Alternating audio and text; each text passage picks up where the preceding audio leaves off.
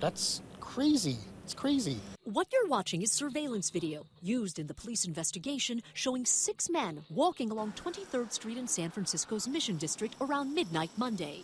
Suddenly, a white sedan pulls up and three armed men get out.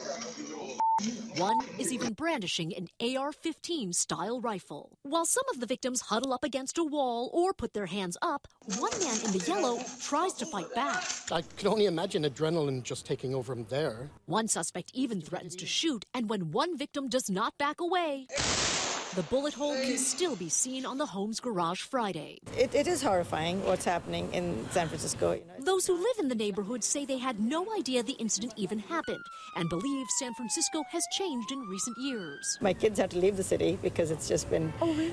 Well, they don't want to raise kids in a place that's so scary, right? SFPD later spotted the getaway car and three suspects at a business just 10 minutes north along Folsom. Officers arrested 22 year old Kiemariah Richmond of San Francisco. After escaping to the roof, a 21 year old Keyari Carter and 15 year old juvenile were arrested. These firearms were seized from the trio. Police tell me they do not encourage victims of crime to fight back. Stupidity, courage, those things I'm not quite sure where the line is there. And urge citizens to be aware of their surroundings at all hours of the day. All suspects are now in custody on more than a dozen charges each, including attempted murder. The juvenile also has a no bail warrant out of Alameda County.